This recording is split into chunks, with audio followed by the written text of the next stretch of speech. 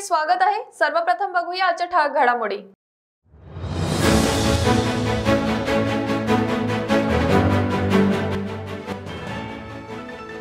नागपूर गुन्हे शाखेकडून पुन्हा एकदा तब्बल चार कोटी साठ लाख रुपयांची एकशे पाच टन सडकी सुपारी जप्त.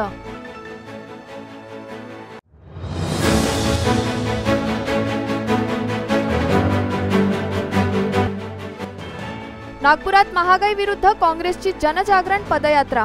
पदयात्रेत केंद्र सरकारचा मोठ्या प्रमाणात करण्यात आला निषेध.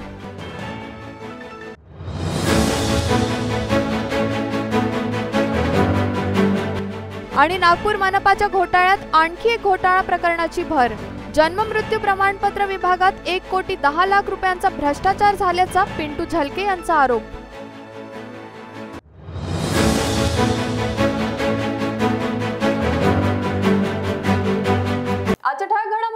आता सविस्तर वृत्त.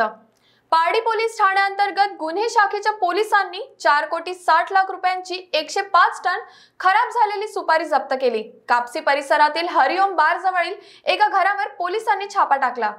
नागपूर गुन्हे शाखेने पुन्हा एकदा मोठी कारवाई केली आहे. गुप्त माहितीनुसार पोलिसांनी पारडी पोलीस ठाण्याअंतर्गत हरिओम बारजवळील गृहलक्ष्मी घर क्रमांक चारशे तेराच्या फ्लॅट क्रमांक बेचाळीस त्रेचाळीसच्या गोडाऊनवर छापा टाकला. या गोडाऊनमध्ये सुमारे सत्तर किलो वजनाची एकशे पाच टन हलकी सुपारी जप्त करण्यात आली. पोलिसांनी गोडाऊनचे मालक अनुप नागरिया यांची चौकशी केली असता त्यांनी योग्य उत्तरे दिली नाही. त्यामुळे पोलिसांनी जप्तीची कारवाई केली ज्यामध्ये चार कोटी साठ लाखांचा माल जप्त करण्यात आला आहे. त्यानंतर पोलिसांनी एफ डी एला याबाबत माहिती दिली. पोलीस उपायुक्त चिन्मय पंडित यांच्या मार्गदर्शनाखाली ही कारवाई करण्यात आली. वाढते इंधनाचे दर व महागाईच्या निषेधार्थ नागपुरात जिल्ह्याचे पालकमंत्री डॉक्टर नितीन राऊतांच्या नेतृत्वाखाली काँग्रेसतर्फे पदयात्रा काढण्यात आली. यावेळी केंद्रात असलेल्या भाजप सरकारचा निषेध करण्यात आला.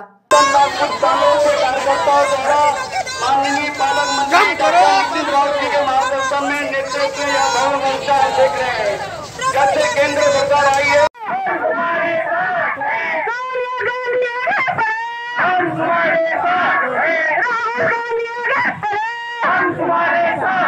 बेझनबाग येथील जनसंपर्क कार्यालयातून निघालेल्या या पदयात्रेत काँग्रेसचे असंख्य कार्यकर्ते सहभागी झाले होते. यावेळी डॉक्टर नितीन राऊत यांनी महागाईमुळे सर्वसामान्य नागरिकांना जगणे कठीण झाले असून घरगुती गॅसच्या किमतीत होत असलेली वाढ हे गृहिणीचे बजेट कोलमडून टाकायला कारणीभूत आहे असे म्हटले. तसेच सर्व क्षेत्रात महागाई वाढत असून जीवनावश्यक वस्तूंच्या किमती देखील आता गरिबांना परवडत नसल्यामुळे जगणे असह्य झाले असा आरोप त्यांनी केला. त्यामुळेच अच्छे दिनचे स्वप्न दाखवणाऱ्या केंद्र सरकारने त्वरित महागाई बेरोजगारीबाबत सकारात्मक निर्णय घेऊन जनतेला न्याय द्यावा अशी मागणी करण्यात आली.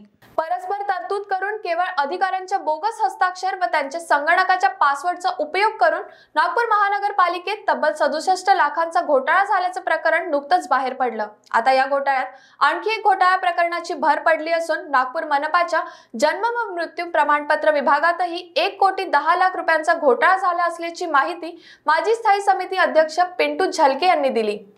नागपूर महानगरपालिकेच्या जन्ममृत्यू प्रमाणपत्र विभागात एक कोटी दहा लाख रुपयांचा घोटाळा झाल्याचा आरोप माजी स्थायी समितीचे अध्यक्ष पिंटू झलके यांनी केला आहे ते म्हणाले की मनपाच्या अनेक विभागात भ्रष्टाचार झाला आहे मनपा प्रशासनाने स्टेशनरी घोटाळ्याप्रकरणी केवळ चार कनिष्ठ स्तरातील कर्मचाऱ्यांना निलंबित केलं आहे मात्र या घोटाळ्यांमध्ये अनेक अधिकारी व वरिष्ठ कर्मचाऱ्यांचा हात आहे. मनपाचा फक्त एकच विभाग नाही तर सामान्य प्रशासन विभागासोबतच आरोग्य विभागाचाही घोटाळ्यात समावेश आहे. यासोबतच ते म्हणाले की कोरोना काळात राधास्वामी सत्संगात पाच हजार बेड निर्माणाचं कार्य करण्यात आलं होतं. त्यावेळी त्यातही बेड चादर डस्टबिन या सर्वांमध्ये भ्रष्टाचार करण्यात आला. महानगरपालिकेच्या अशा अनेक विभागात भ्रष्टाचार झाला असून मनपा प्रशासनाद्वारे चौकशी करून आरोपींवर कारवाई करण्याची मागणी पिंटू झलके यांनी केली. सामान्य प्रशासन विभागामध्ये स्टेशनरी खरेदीच्या संदर्भात जो घोटाळा झाला त्यात अनेक लोक लिप्त आहेत. ज्या चार लोकांना निलंबित करण्यात आलेलं आहे ते कनिष्ठ स्तरावरचे कर्मचारी आहे. यात मोठ्या स्तरावरचे अधिकारीसुद्धा याच्यात इन्वॉल्व आहे असा आमचा आरोप आहे. कारण एकंदरीत कोविडचा जो काळ होता आणि कोविडच्या काळामध्ये मग तो राधास्वामी सत्संगमधलं पाच हजार बेडचं निर्माणाचं कार्य असो त्यावेळी तिथे वेगवेगळ्या बेडशीट घेणे बेड घेणे डस्टबिन घेणे वेगळं अजून काही साहित्य घेणे टॉवेल घेणे चादरा घेणे या सर्व गोष्टींमध्ये त्याहीवेळी भ्रष्टाचाराच्या संदर्भात आम्ही वारंवार प्रशासनाला सांगितलं. पाच दिवस या नागपूर महानगरपालिकेच्या इतिहासात सभागृह चाललं. आणि त्यावेळीसुद्धा आम्ही त्या सर्व गोष्टींचा उहापोह त्यावेळी केला. पण त्यावेळी पण प्रशासनाने या बाबतीत लक्ष घातलं नाही. त्याच्यासोबतच जन्ममृत्यू विभागात नव्याने एक कोटी दहा लाख रुपयाचा घोटाळा झाल्याची माहिती आज मला प्राप्त झाली आहे. त्याच्यामुळे एकंदरीत हे प्रकरण अत्यंत गंभीर आहे आणि या प्रकरणात केवळ खालच्या कर्मचाऱ्यांवर निलंबनाची कारवाई करून चालणार नाही. यात मी आपल्या माध्यमातून माननीय आयुक्त महोदयांना विनंती करू इच्छितो की या संपूर्ण प्रकरणाची योग्य चौकशी करून जे दोषी आहे त्या सर्वांना सरसकट तात्काळ निलंबित करण्यात यावं. कारण याच्यात केवळ चार लोकांना निलंबन करून चालणार नाही. यात मोठे लोकसुद्धा इन्वॉल्व आहे मोठे अधिकारीसुद्धा इन्वॉल्व आहे. त्याच्यामुळे या संपूर्ण प्रकरणाची योग्य चौकशी मान्य आयुक्तांनी करावी हा हा ही आमची मागणी आहे. आणि यात अनेक लोक इन्वॉल्व आहे प्रशासनाचे असा आमचा आरोप. शनिवारी क्रीडा राज्यमंत्री संदीप सिंग यांच्या प्रमुख उपस्थितीत खासदार क्रीडा महोत्सवाच्या तारखांची घोषणा करण्यात आली. सोबतच केंद्रीय मंत्री नितीन गडकरी यांनी कॉफी टेबल बुकचे विमोचन केले. यावेळी अर्जुन पुरस्कार विजेता बॅडमिंटनपटू ज्वाला गुट्टा पण उपस्थित होत्या. केंद्रीय मंत्री नितीन गडकरी यांच्या संकल्पनेतून साकार झालेल्या खासदार महोत्सवाअंतर्गत येणाऱ्या क्रीडा महोत्सवच्या तारखांची घोषणा तसेच कॉफी टेबल बुकचे विमोचन शनिवारी सुरेश भट सभागृहात करण्यात आले. या प्रसंगी केंद्रीय मंत्री नितीन गडकरी यांच्यासह भारतीय हॉकी टीमचे माजी कॅप्टन आणि हरियाणाचे क्रीडा मंत्री संदीप सिंग आणि भारतीय बॅडमिंटनपटू ज्वाला गुट्टा प्रामुख्याने उपस्थित होते.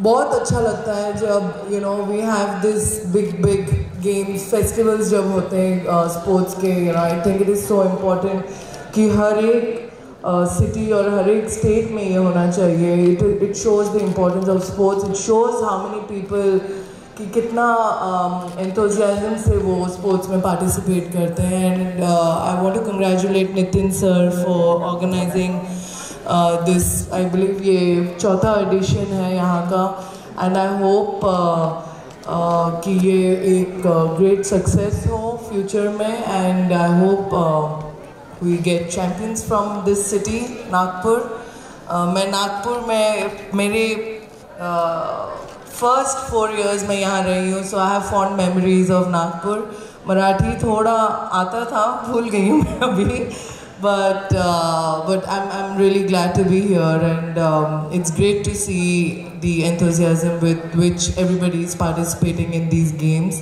Uh, I wish all the participants a good luck, and I hope uh, आप ये गेम को गेम्स को enjoy करें अभी कुछ समय पहले मीडिया के साथ थोड़ा वार्तालाप कर रहा था तो वहाँ पर बात चल रही थी खिलाड़ियों की, कुछ गेम्स की।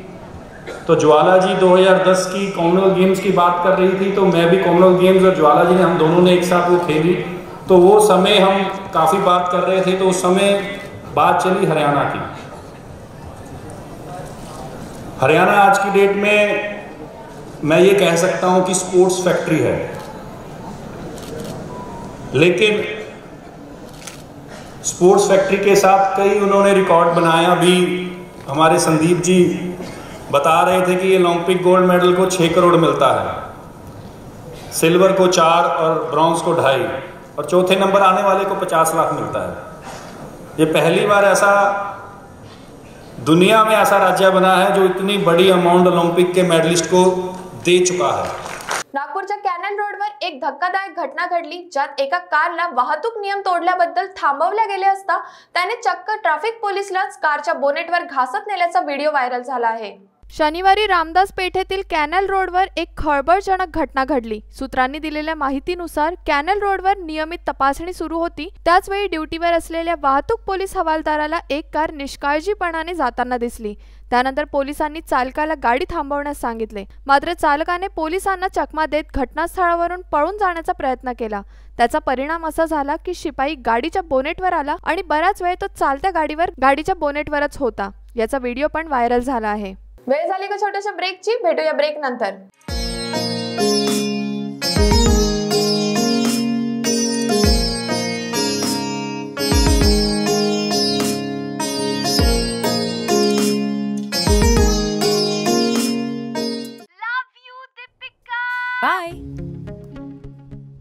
जानना चाहते हैं। मेरा फेवरेट कलर मेरा फेवरेट डेस्टिनेशन मेरी फेवरेट डिश पर कोई ये नहीं पूछता कि फेवरेट डिश मैं बनाती कैसे हूँ। अरे यार, जिसे टेस्टी खाना पसंद है, वो अच्छे टेस्ट तक पहुँच ही जाता है। सुरुचि मसाले। खाने में हो रुचि तो घर लाइए सुरुचि। सपनों की उड़ान भरने की इच्छा तो हर किसी की होती है। पर पंख भी तो मजबूत होने चाहिए। जो देता है Flywheel Aviation Academy Flywheel Aviation Academy एक ऐसा इंस्टीट्यूट है जहाँ पर एयरलाइंस एंड एयरपोर्ट हॉस्पिटैलिटी और टूरिज़्म मैनेजमेंट साथ ही यहाँ campus interview guidance by industry expert practical training at airport expert faculty personal grooming जैसे कई सारे बेनिफिट्स आप पा सकते हैं। Flywheel Aviation Academy one degree three job opportunities Flywheel Aviation Academy gives you a degree और diploma with a job Flywheel Aviation Academy 365 Gandhinagar LAD college square beside Karnataka bank Nagpur. Break नंतर आपले स्वागत आहे. बावीस October दोन हजार पंधरा धम्मचक्र प्रवर्तन दिनी नागपूर स्थित दीक्षाभूमी येथे माजी मुख्यमंत्री आणि आताचे विरोधी पक्षनेते देवेंद्र फडणवीस यांनी लाखो आंबेडकरी अनुयायांसमोर दीक्षाभूमीच्या नाविन्यपूर्ण सौंदर्यीकरण आणि विस्तारीकरणासाठी तीनशे पन्नास कोटी रुपयांची योजना जाहीर केली होती. दोन हजार सतरामध्ये त्यातून चाळीस कोटी रुपयांचा निधी फडणवीसांनी नागपूर सुधार प्रन्यासला हस्तांतरित केला होता. मात्र आजपर्यंत त्या निधीला प्रशासकीय मान्यता मिळाली नसून दोन हजार पंधरा पासून दीक्षाभूमीच्या योजनेला सुरुवात झालेली नाही अशी माहिती डॉक्टर बाबासाहेब आंबेडकर स्मारक समितीचे विश्वस्त विलास गजघाटे यांनी पत्रकार परिषदेत दिली. आता एक पाणी ते परंतु याच वेळेस तात्काळ दरकार आणि शासनाने याचा गांभीर्याने विचार करावा आपल्या मा- आणि बावीस ऑक्टोंबर दोन हजार पंधरा रोजी तत्कालीन मुख्यमंत्री आणि आजचे महाराष्ट्र राज्याचे विधानसभेचे विरोधी पक्षनेते देवेंद्रजी फडणवीस यांनी याच पवित्र दीक्षाभूमीवर धम्मचक्र पवित्र दिनी लाखो अनुयायांसमोर साडेतीनशे करोड रुपयाच्या दीक्षाभूमीच्या परमपूजित परमपूज डॉक्टर बाबासाहेब आंबेडकरच्या मध्यवर्ती स्मारकासहित संपूर्ण दीक्षाभूमीचे नाविन्यपूर्ण आणि विकासपूर्ण योजनेचं एक योजना साडेतीनशे करोडची जाहीर केली.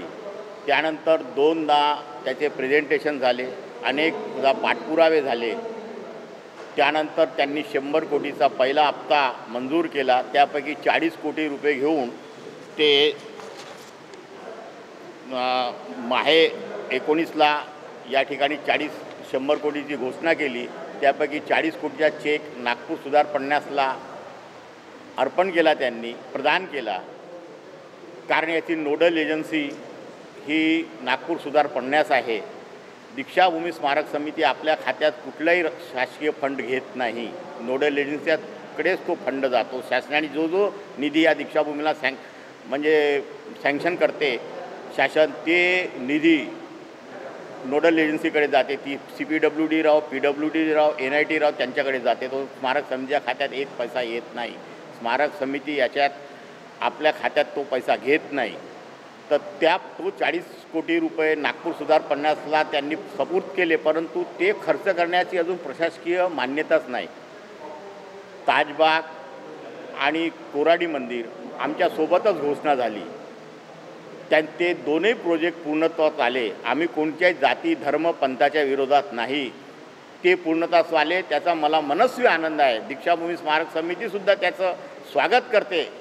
महाराष्ट्र शासनाचं अभिनंदनही करतो आम्ही की त्यांनी ते प्रोजेक्ट पूर्ण केलेत. त्याबद्दल आम्हाला अभिमानही आहे त्यांचा. परंतु त्याचबरोबर दीक्षाभूमीला का मागं ठेवलं? त्यामुळं असं वाटतंय की दलित पीडित शोषितांची हे ऊर्जाभूमी असलेली दीक्षाभूमी आजही उपेक्षित आहे का? जे अडीच हजार वर्षापूर्वीपासून सुरू होतं आमचा राग तो आजही मनात आहे का अशी शंका येते. आणि दिवसेंदिवस बौद्ध धम्मियाचे म्हणजे इथे येणारा बौद्ध धर्मीच नाही. आता मला एक व्यास मॅडम भेटल्या. त्यांनी इथं काही चांगल्या सूचना मला सु प्रदा सांगितल्या. त्याच्यासुद्धा आम्ही स्वीकार करू. इथे येणारे सर्व जाती धर्माचे लोक आहेत. कोणी बौद्ध धर्मीच इथे येत नाही. बाबासाहेबांना मानणारा जो जो अनुयायी वर्ग आहे तो येतो. त्या सर्वांच्या भावना या देशातच नव्हे तर जगातल्या बौद्धांच्या बाबासाहेबांच्या अनुयांच्या भावना तीव्र होत आहे. ह्या भावनांचा उद्रेक व्हायच्या अगोदर शासनानं पुन्हा एकदा विचार करावा. मी पुनश्च त्यांना विनंती करतो स्मारक समितीतर्फे हात जोडून विनंती करतो. पुढच्या महिन्यात मी त्यांना पुन्हा भेटतो सेशन झाल्यावर. आणि हे विधान हिवाळी अधिवेशन संपलं की पुन्हा एकदा मुख्यमंत्री आणि उपमुख्यमंत्र्याची भेट घेतो. आणि त्यांना विनंती करतो लवकरात लवकर काम सुरू करा. जर त्यांनी केलं तर बरं होईल. आपणही प्रयत्न करावा. आपणही सरकारला आमची मागणी सांगावी हीच आपणास विनंती करतो. ओबीसी आरक्षणाच्या मुद्द्यावरून भाजपने महाविकास आघाडीला घेरण्याचा प्रयत्न सुरू केला आहे. ओबीसी आरक्षण वाचवण्यात राज्य सरकार अपयशी ठरल्याबद्दल भाजप नेत्यांकडून भाष्य केले जात आहे. याबाबत राष्ट्रवादीचे प्रदेशाध्यक्ष आणि जलसंपदा मंत्री जयंत पाटील यांनी भाजपवर प्रत्युत्तर दिले. ओबीसी प्रश्नावर जो इम्पेरिकल डाटा पाहिजे तो इम्पेरिकल डाटा केंद्र सरकारने सुप्रीम कोर्टात देणं अपेक्षित होतं. दुर्दैवाने लोकसभेमध्ये जे उत्तर केंद्र सरकारने भाजपच्या दिलेलं आहे त्यात इम्पेरिकल डाटा जवळपास अठ्ठ्याण्णव टक्के बरोबर आहे आणि तो ॲक्युरेट आहे असं विधान केलेलं आहे. आणि त्यानंतर तो डेटा हा लोकस कोर्टात देताना तो त्याच्यात बऱ्याच त्रुटी आहेत असं विरोधी विधान केलं. आणि आता तर ते म्हणतात डेटा तसा उपलब्ध नाही. ह्या सगळ्या भूलतापा केंद्र सरकारच्या आहेत. केंद्र सरकारने भार भारतातल्या महाराष्ट्रातल्या नाही सगळ्या भारतातल्या ओबीसींचं फार मोठं नुकसान केलेलं आहे. आणि इम्पेरिकल डाटा करण्याची पुन्हा म्हणजे यापूर्वी सर्वे झालेला आहे जो दोन हजार अकरा ते चौदाच्या दरम्यान झालेला होता तसं आता पुन्हा सर्वे करण्याची पाळी केंद्र सरकारच्या आडमुठे धोरणामुळे आलेली आहे. आम्ही ओबीसीचं आरक्षण महाराष्ट्रात राजकीय जे आरक्षण आहे ते मिळवण्यासाठी कुठेही कमी पडणार नाही. पण मुद्दामून खोट घालण्यासाठी केंद्र सरकारने सुप्रीम कोर्टात ही अशी भूमिका घेतली आहे. आणि म्हणून फक्त महाराष्ट्रातच नाही तर मध्य प्रदेशमध्ये देखील आता ओबीसीचं आरक्षण गेलेलं आहे. उद्या गुजरात कर्नाटकमध्ये आणि थोड्या दिवसांनी यू पीमध्ये देखील हीच गोष्ट होणार आहे. आणि त्यामुळं भारतातल्या ओबीसींच्या विरोधी भारतीय जनता पक्षाने घेतलेली भूमिका ही अनाकलनीय आणि दुर्दैवी आहे. आरो वॉटर प्लांटला घेऊन भाजप काँग्रेस कार्यकर्त्यांमध्ये हाणामारी झाली असून तळे गावात हे प्रकरण उघडकीस आले आहे. या हातापाईचा व्हिडिओ पण व्हायरल झाला आहे.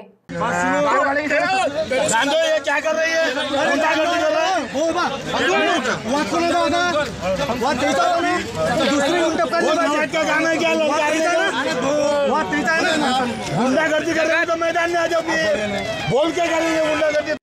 सर्वत्र निवडणुकीचे वातावरण तापले आहे. त्यामुळे सर्वपक्षीय कार्यकर्तेही कामाला लागले आहेत. अशा स्थितीत आष्टी तालुक्यातील तळेगाव येथील ग्रामपंचायतच्या आरो वॉटर प्लांटवरून भाजप आणि काँग्रेस कार्यकर्त्यांमध्ये बाचाबाची झाली. बुधवारी सर्वत्र व्हायरल होत असलेल्या या व्हिडिओमुळे राजकीय क्षेत्रात जोरदार चर्चा सुरू आहे. तळेगाव ग्रामपंचायत उड्डाणपूल चौकाची जागा शासनाने आरो वॉटर प्लांटसाठी नियुक्त केली आहे.